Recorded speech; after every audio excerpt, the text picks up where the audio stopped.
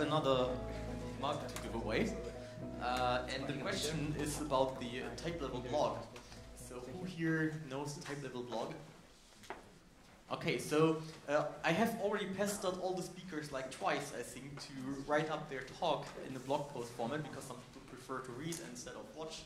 Um, so they should totally do that. But even if you're not a speaker, uh, you're free to write a post on the uh, Typelevel blog. We always take guest posts, and all you have to do is you have to do send me something which sort of looks like it has been next to a markdown file once, uh, and I will happily prepare that. And it can be on anything. It can be, for example, how we introduced free monads in our company, something like that.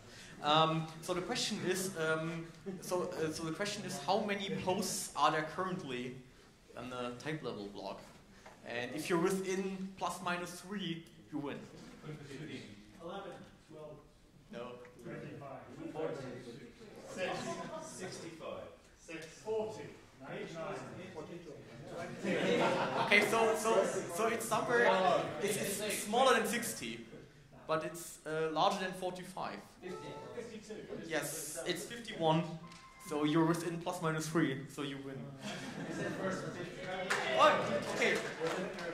Okay, well you don't, you lose, and uh, so if, if, if we have more mugs left at the end of the conference, you may have one. Sorry? Uh, I, I don't know. Anyway, congratulations, you get a mug.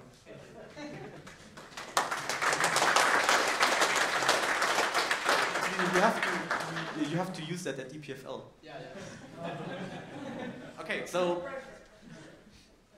okay, so our next speaker is uh, Ken, and he's going to talk about optics. And um, he's he come he came all the way here from Australia, so uh, really appreciate that.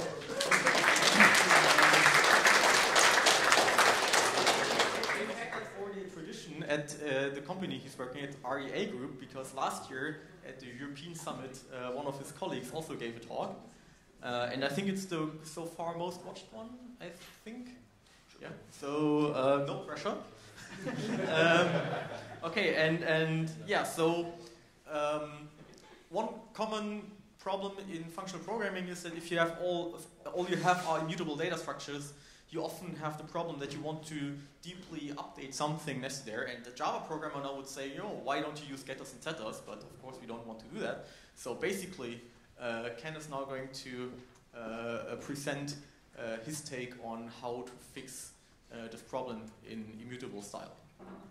Have a welcome.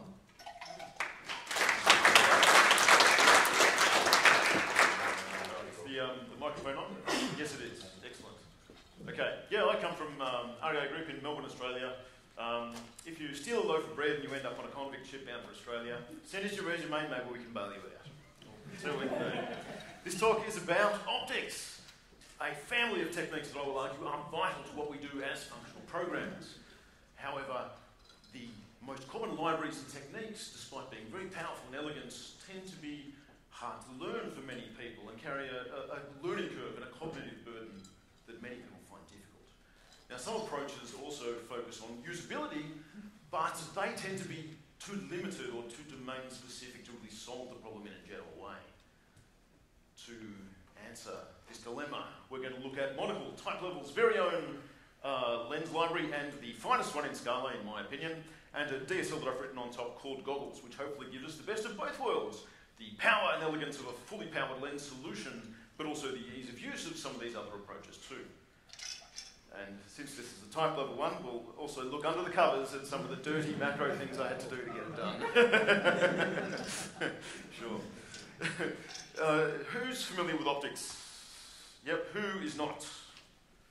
Cool, don't worry, we'll get to there, we'll get to there. Uh, to illustrate the concept, we're going to look at arcade classic Bubble Bobble. Uh, hooray!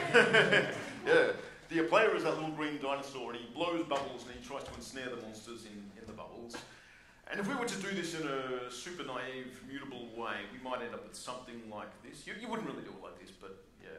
Um, so pos entity, it's all mutable and all that sort of thing. Now, importantly, to access some bit of information inside this game graph, we can just do this dot that dot this dot that, and we get it. And to modifiers, we do the same thing. We just do this dot, that dot, this dot, that dot, uh, you know, plus equals 10, and it will update the entire structure. We don't even need to know that whole path. We could just have a reference to some part of it, and we could update the whole thing without any extra knowledge. Now, if you turn to chapter 3 in your copy of SICP, you'll see that it says assignment leads us into a thicket of difficult conceptual issues. Well, yes, it does. It certainly does. And it goes on to say, nevertheless, it is a powerful technique for maintaining a modular design. What is going on here? I thought mutable state was terrible. Well, it, it turns out there's a kind of a trade-off involved. Now, all of those things in the red column, you, you, you know why it's terrible. I won't bother reading them out. But it also does certain things, and if you need those things, well, that's okay. So it tracks state over time. If you need to track a series of states belonging to an identity over time, it, it does that. If you want to instantly convey changes to a whole bunch of observers instantaneously without any external orchestration or arrangement, it does that too. At a terrible cost, of course. But it does it. now, as good functional programmers, we're more likely to write something like this. Um, pos entity, now, now, the entity can either be a monster or a player or a bubble, uh, then game, and it, it's all immutable, of course. Now, this time uh, we can access things with just as much convenience, but when we want to update it, now we're in trouble because we can't just mutate it. Now we have to dig down to the structure to get the old value, then get a new value for the x, and then create a new pos with the new x, and a new player with the new pos, and a new game with the new player. And we end up with this situation where there are rippling changes from the point where we wanted to modify it out up to the root of the entire thing. So it turns out that immutability that we love so much, for, for good reason, has a bit of a trade off as well. I, I'm not going to bother reading out the good things, we all know them, but there are bad things as well. If you have nested immutable things, you need to manually orchestrate the position of updates within that broader structure. You need to know about the entire structure within which you are modifying your, your state. You need to know how to recreate everything back up to the root. This is not just a matter of verbosity, this is anti-modular. And this is very embarrassing because functional programming is supposed to be all about modularity. That's why we're here. That's very embarrassing. So, so we might be tempted to throw up our arms and say, well, maybe functional programming is just not that great at a bunch of really ordinary problems. Or we could use optics. To introduce the concept, let's look at a lens. And a lens has two things, a getter and a setter. The getter gets some A value within an S structure, and the setter doesn't mutate it in place, but it produces a new S given a new value A concrete example here is, of course, a Bubble Bobble monster, where we can just access the position and then we recreate the Bubble Bobble monster based on a new position. And just in the same way, we can also, for the position, we can say, let's get the x value and let's recreate the position for a new value. And you could have another lens for y as well, of course. Now, what's beautiful about this is just like functions, lenses compose. And that means we can take a, a player to position and a position to x, and they will fuse together into one big lens where you don't have to remember any of the intermediate steps. That's really, really important.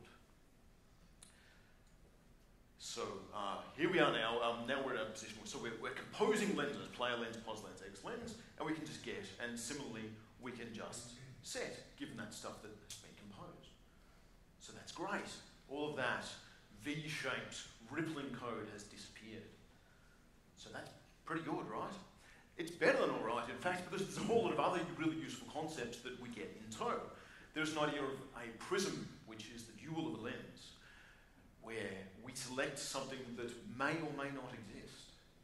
So uh, we either select the A value if it's there, otherwise we return the original S structure. And to set it, we simply embed the new A value into. And of course, an example here is game entity, where we could either have a player or a monster or a bubble, and we are selecting the case where it is a player.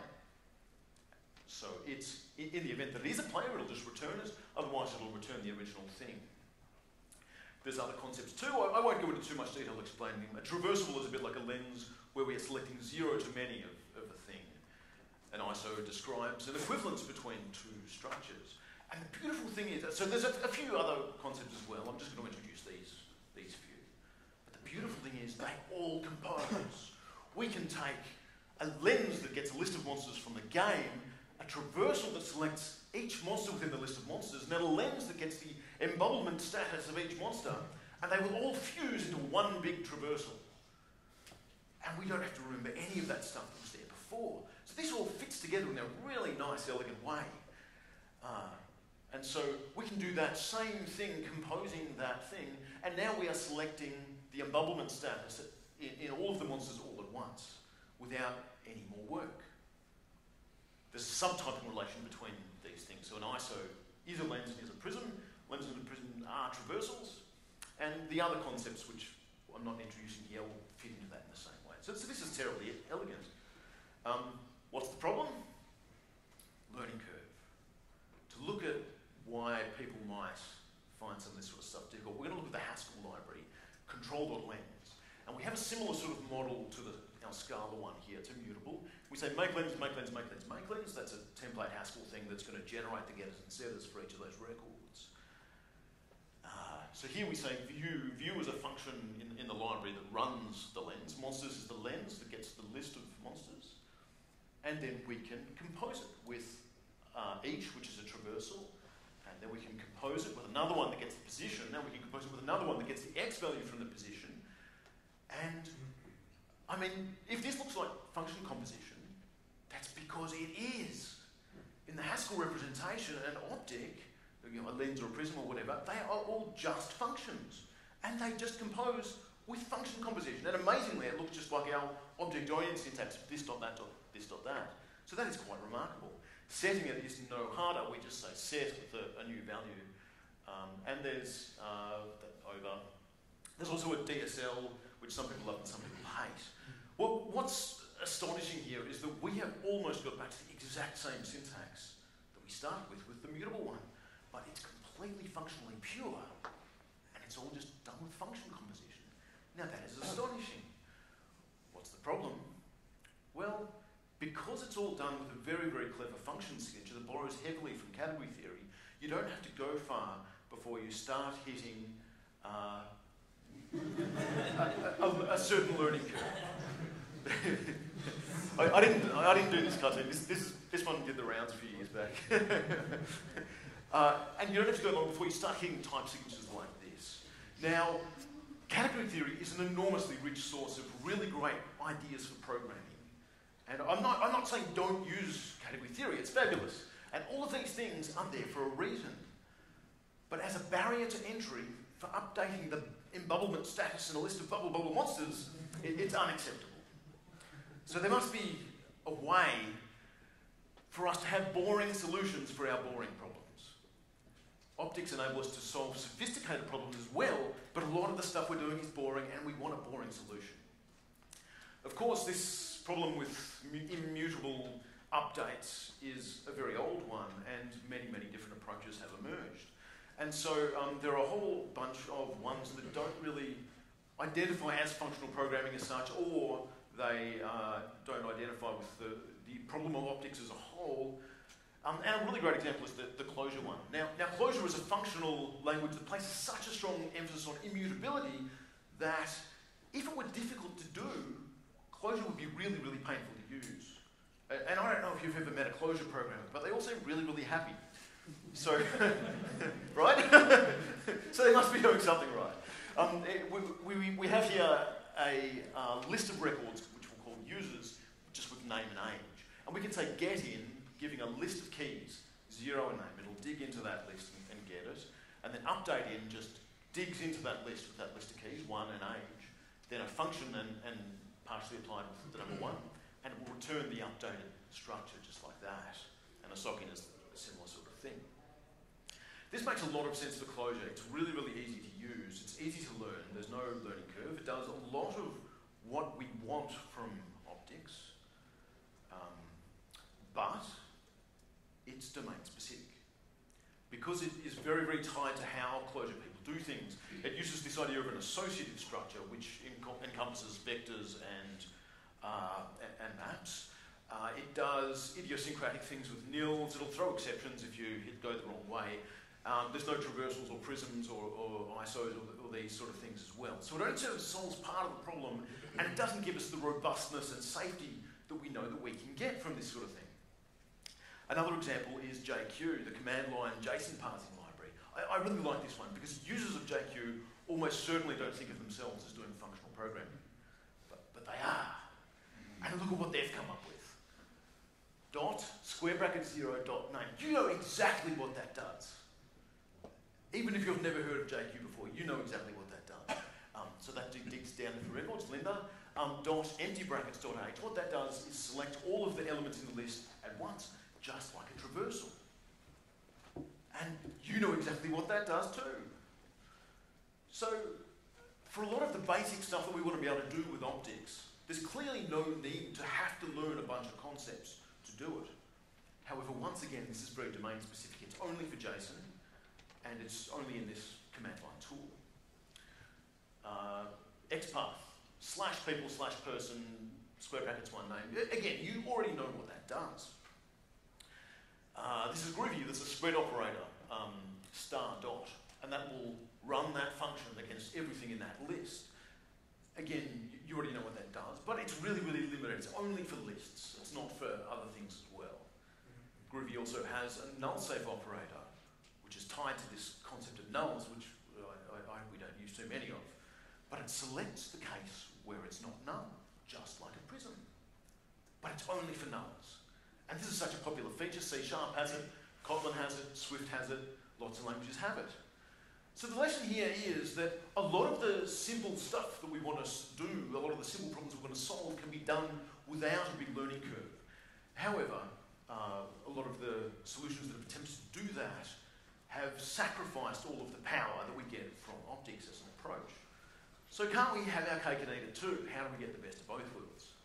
We're going to look at Typelevel's very own Monocle, which is a lens library in Scala, the, the best one in my opinion. And it is basically a subset of control.lens. It contains a lot of these powerful concepts that we've talked about here. Uh, lens, traversal, prism, and it's got a handful of other ones. You, you can learn that, right? Um, even if you don't know what they all are now, I mean, this is no harder than learning gang of four patterns.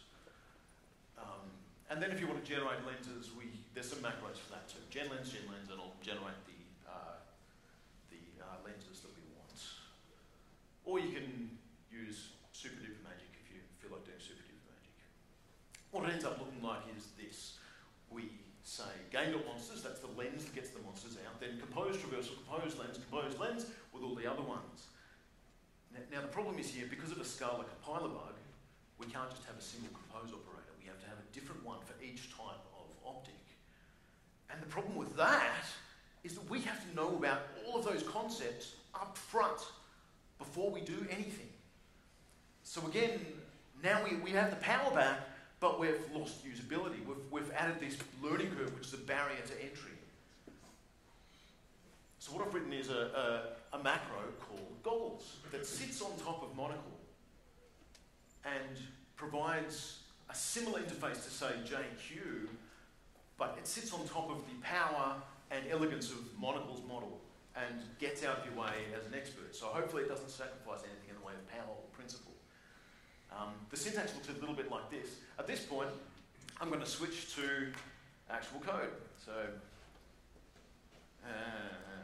there we go. Cool, Scala. So this is the game that we were looking at before with a player and a list of monsters and so forth.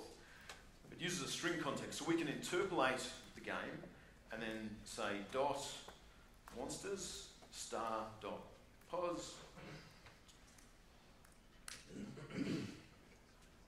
that returns a list of positions. Now again, I, I, suspect you already know what that does looking at that syntax. Game.monsters star.pos. Setting is no different. Um, this time we say set, and this time it will return something that enables us to do this, and then, oh, oops, pos.x, and we get back the whole thing with all of the, the x positions of the monsters updated at once. And this is compiler checked, so that string, you can't stuff it up because the, compile, the compilation will fail. The good thing about this is, though, that because we know so much about what the user is trying to do, we can provide really good error messages. If I say blah, ah man, I knew I shouldn't have made the text that big. All right, let's do that again.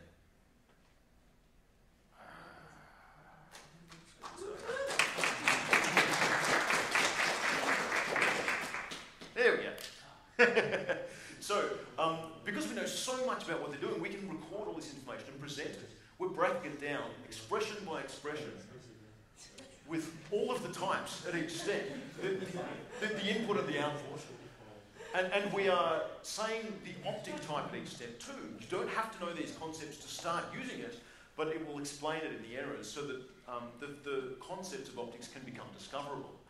You'll see here, um, when we compose a traversal with a setter, what results is another setter. So it says that as well in, in the right-hand column, or left-hand.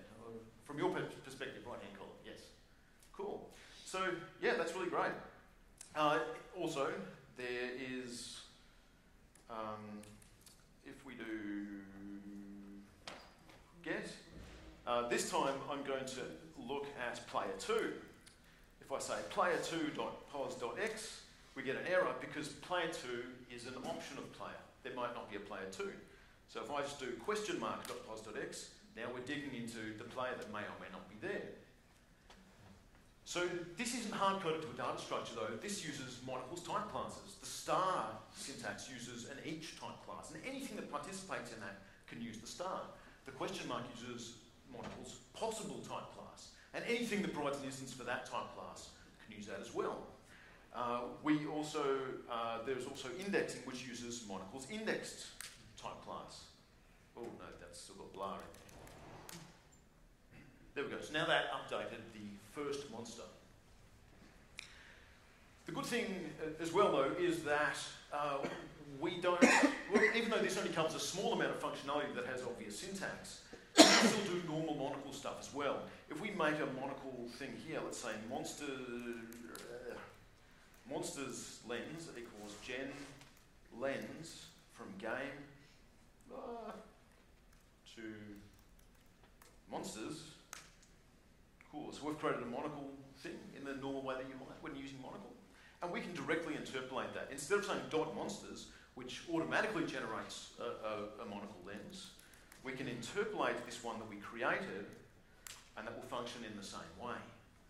So it means that you can use whatever normal monocle stuff you're doing and just interpolate it into this syntax. It seamlessly transfers from this immediately usable basic syntax to the more advanced functionality and gets out of your way.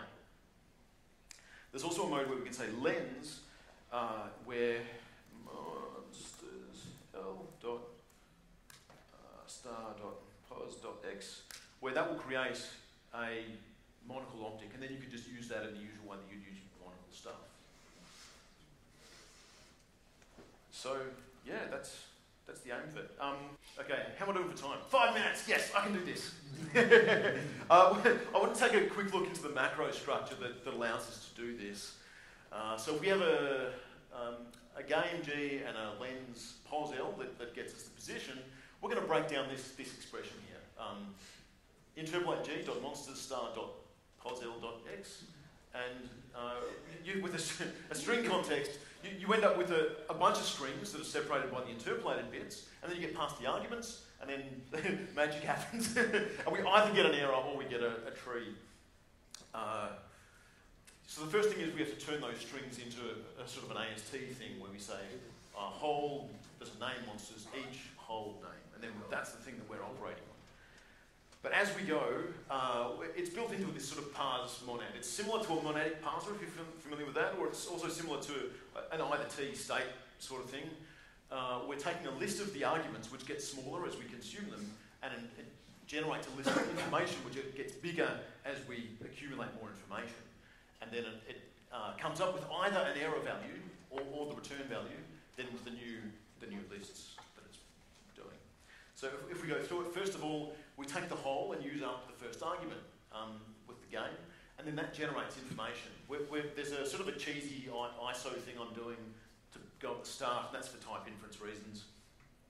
And it's generated some code, const game. Again, const is my thing, it's a, it's a cheesy thing to get the ball rolling. Uh, the next one is we take name monsters and it will generate a getter of monsters and put it there in the generated code, but also it generates more information. The next one, for the star, it gets a little bit more interesting. We want to say compose traversable each.each, which is a monocle thing, but we don't know the information here. Because we're relying on a type class instance, we, we know that we're coming from a list of monsters, but we don't know that it's a monster that it's going to be iterating over. So we have to find that out somehow. So what we do is we type check this implicitly thing that fishes the type class out of the ether with an underscore for the unknown type, and the type checker will fill it in for us. And then I can pattern match on that tree, and then that gives me the type, and, and we can continue. I found that. it took you a few weeks to find that one. uh, and then, uh, so interpolating it, uh, we can just say dot compose lens, and that, that's pretty straightforward, consuming the whole. And then finally, we have no AST left. We have a list of information, and we have a uh, fully functioning code tree, which is basically just normal monocle code, almost. If we stuff it up, will we get an error flag and the list of information, and we can use that to create these, these wonderful error messages. But the cool thing is I can test it. I, I, have, I just have a different string context front end for, for the errors, I mean for the, for the tests, which means I can test it with the compile errors as an either. So it, will compile just giving me a, a left of, of the error flag, which means that I can test that I'm, I'm giving the right compile errors in, in the tests, uh, which is kind of neat. I want to talk about the future uh, of optics. They are here to stay. Programs all around the world, more and more, are discovering the benefits of immutability, but they're also discovering the frustrations. Optics are the best solution that's emerged to deal with this. So it is unsustainable that the leading approaches are still so hard to use. So they are here to stay, and uh, this field will improve. Uh, what I think I've demonstrated here is that there is a lot of benefit from having an inbuilt approach, whether it's pure language support or using a macro uh, as well. I, I, think it's inevitable that languages, future languages, will have built-in optics support. It's, it's, not a matter of if, it's a matter of when. It's just too good uh, for that not to happen. I hope that the Goggles library helps inform this process. It's an ongoing thing. There'll be experimentation. There'll be uh, different approaches tried.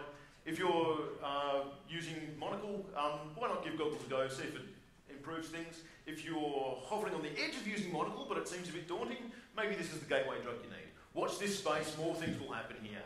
Uh, thank you for your time.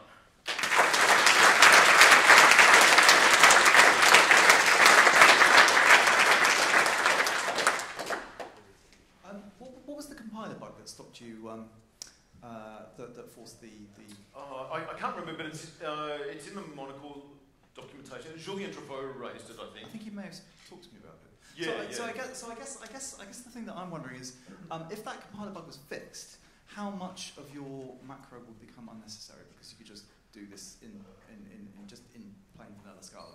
Sure. Yeah, I, I, I don't think it would be unnecessary because it's still, I think it still improves things a lot.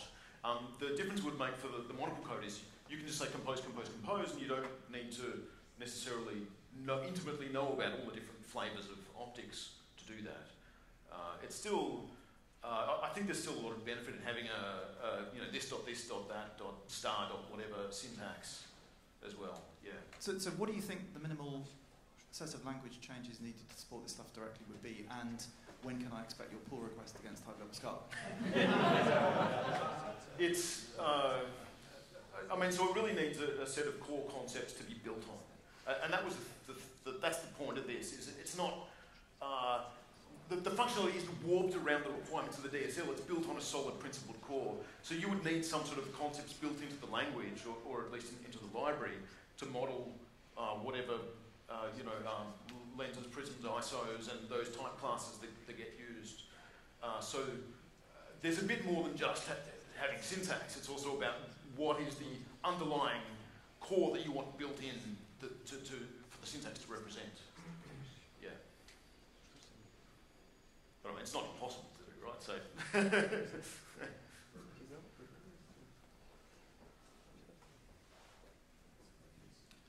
So you were using random access on lists and you didn't get an option out.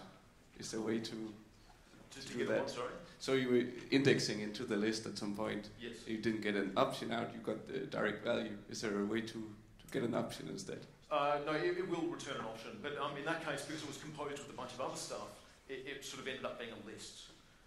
Um, because because the, when you compose different optic concepts, there's particular things you end up with. So if you compose a lens with a traversal, you're going to get back, get back a traversal because because you're, you're in a land where you're getting you're focusing on zero to many things. Uh, in this case, uh, the indexing is an optional, um, which, is another optic concept, but because you may or may not get a result back from your index. But because it was combined with the traversal over all the monsters, what you ended up with was the traversal at the end of it, um, which is focusing on zero to many. And, and if that, that indexing failed, it would be zero. Yeah. Okay.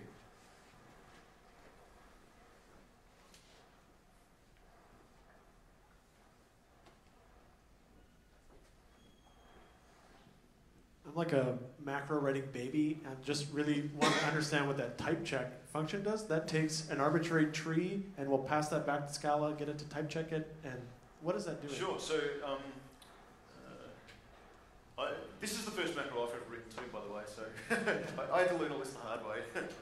uh, here we go. Yeah. So that, that's um, on the because you get this universe object, and that's on the uni, or universe or the context, one of the two. And, and what it does is returns a tree, a, a tree object, uh, which is also what you return from the macro at the end. Um, and then you can sort of, I mean, it's a data structure. You can interrogate I think- it I and think I- it. and- Yeah, I think I understand. So this, so basically, like you're in the middle of type checking, and then you're giving some other tree and saying, "Go and type check this, come back to me, and then we'll continue on in the macro Yeah. process." So the, the tree, the tree structure may or may not have types attached to it. At the start, the, the tree of the arguments that I, I get it is there are no types. Oh no, the arguments there are types, uh, but um, th- that queue thing that will return a tree that doesn't have types. Doing type check will uh, fill it in with all the types. It'll type check it, and, and each each of those little nodes in, inside there will have a type attached to it. Uh, happily, including the underscore, which I had no idea about, but the uh, Scala could, could fill it in for me. cool. Thanks. Yeah. Uh, just in it, that, that, that there are actually a, a bunch of better ways of doing it. Oh, I've got no doubt. I, I'd love to hear about them.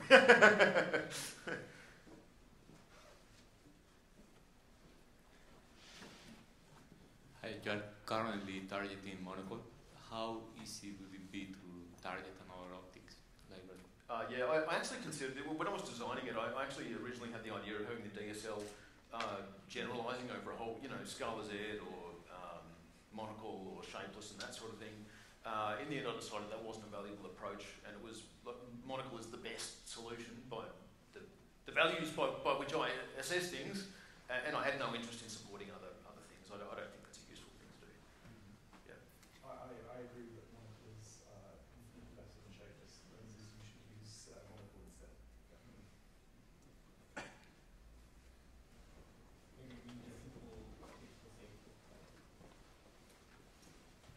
Um, hi, for the talk. It's, it's quite interesting actually. I, I've never used optics. I've only heard about it in conferences. Um, so you mentioned um, that doing it the functional way was a little uh, was inefficient because you had to do copy, copy, copy, copy in the beginning. Um, I was wondering what kind of a, uh performance impact does does optics have uh, if you have you know uh, seen anything on those lines? Yeah, yeah. So certainly, it's it's less efficient than just mutating something in memory uh, because it still has to copy things to, to get So, done. so what what I'm basically looking for is if I try to use this, what kind of trade-offs should I be looking for? It's like, okay, if I do this, okay, I, there is some, some inefficiency, but I might gain something else somewhere. Sure. Well, what you're gaining is uh, software engineering benefits. You're getting the, the benefits of immutability, which, which we all know about, but you're also uh, not sacrificing modularity to do that, which means that you can just write the code in the same way that you would think about writing the, the imperative code without sort of rippling changes that uh, you know are very hard to, to manage. Yeah. So yeah, you're getting good things and not having to pay a lot for them, other than performance.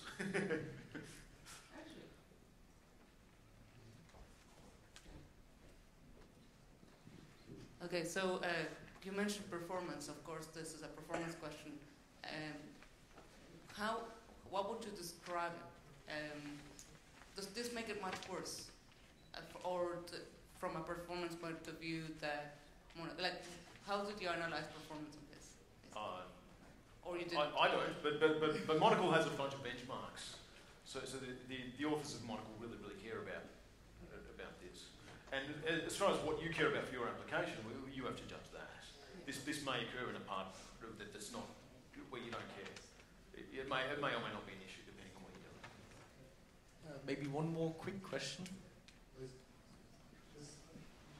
Just wondering about uh, this performance issue. If you are in a context where you want to do an update and it's it's isolated inside a method, could you switch to another interpretation where you just, I don't know, even use reflection to set that thing to a new value that's local and that no one sees what you're doing? You use the same lens expression as a nice syntax thing and you update in place.